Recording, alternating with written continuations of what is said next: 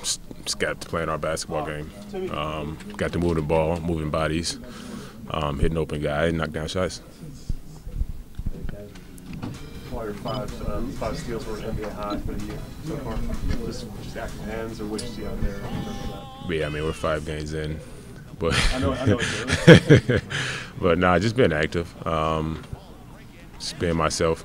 You know, if I see a see the ball, I'll go after it. Um, just try to cause havoc. Team had 15 steals, 10 blocks. I'm sure you're happy with how active the defense was, the effort there. Absolutely. Um, guys were moving. You know, they were hustling, scrambling on defense.